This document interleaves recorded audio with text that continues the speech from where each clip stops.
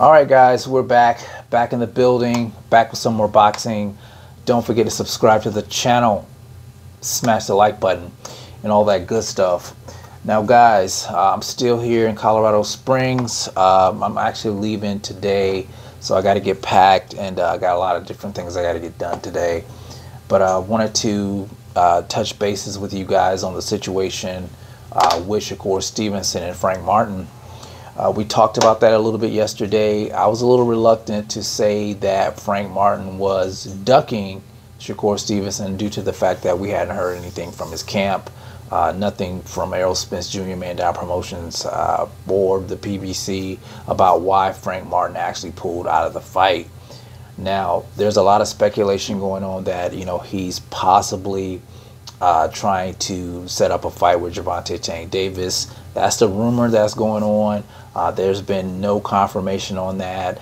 Uh, we still haven't heard anything from Frank Martin. And uh, I think that would be the only case where it's not a duck move. Uh, because him fighting Gervonta Tank Davis, I think that would be more of a financial thing. Maybe he thinks he can make more money fighting Gervonta Tank Davis. Uh, Gervonta Tank Davis being known in a lot of circles as the face, the new face of boxing yeah, that's going to be a bigger fight than the Shakur Stevenson fight.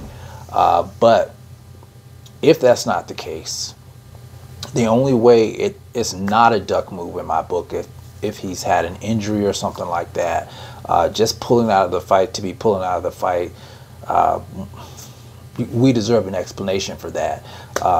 My assumption is if it's not Gervonta Tank Davis, maybe his team didn't think he was ready for the fight. Maybe they, you know, they seen something there that he's not ready for the, the, the caliber of opponent that Shakur Stevenson is. Uh, we did hear Frank Martin talk about knocking out Shakur Stevenson. So maybe it's not a case where he doesn't believe that he can beat Shakur. Maybe his team doesn't believe he's he's ready yet. So excuse me, guys.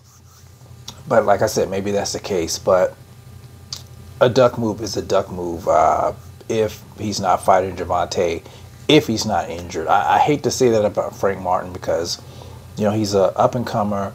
Uh, he's he's a solid opponent, very athletic, uh, crispy jab, uh, lots of power.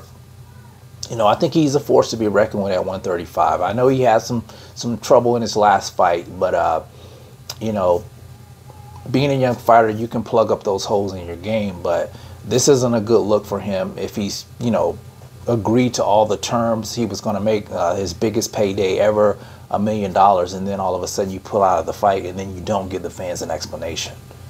Uh, the fans deserve an explanation. You know, just like I, I always talk about the fighters should be respected, fans should be respected too uh, when it comes to stuff like this. We should be we should know what's going on. Not everything behind the scenes, but with something like this. Why now is this fight not taking place? Why uh, get everybody excited about this fight? You, are talking about this fight, and then you just pull out of the fight without any explanations.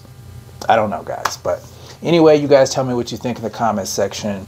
Uh, do you think it's uh, a duck move? Uh, do you think he's, you know, trying to get a fight with Gervonta Tank Davis? You think he's injured? You guys let me know how you feel about that in the comment section. It's the CMB. I'll talk to you guys in the next one. And I'm out. Peace.